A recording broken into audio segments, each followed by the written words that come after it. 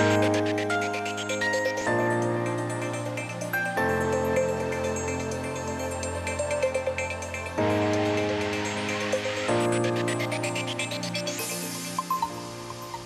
يتوقع خبراء هيئة الأرصاد الجوية أن يسود البلاد غدا السبت طقس دافئ نهارا على القاهرة الكبرى والوجه البحري وجنوب سيناء وسلاسل جبال البحر الأحمر وشمال الصعيد مائل للبرودة على السواحل الشمالية الغربية والسواحل الشمالية الشرقية ووسط سيناء وجنوب الصعيد بينما يسود ليلا طقس شديد البرودة على الأنحاء كافة.